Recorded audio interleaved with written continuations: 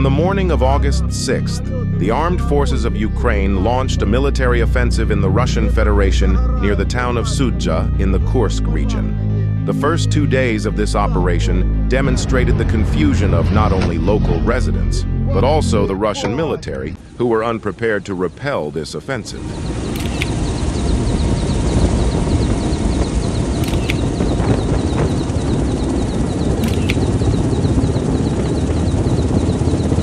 Два танка, два прилета.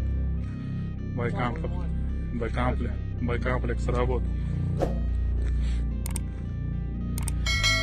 Наш пост разъебанный, прямое попадание.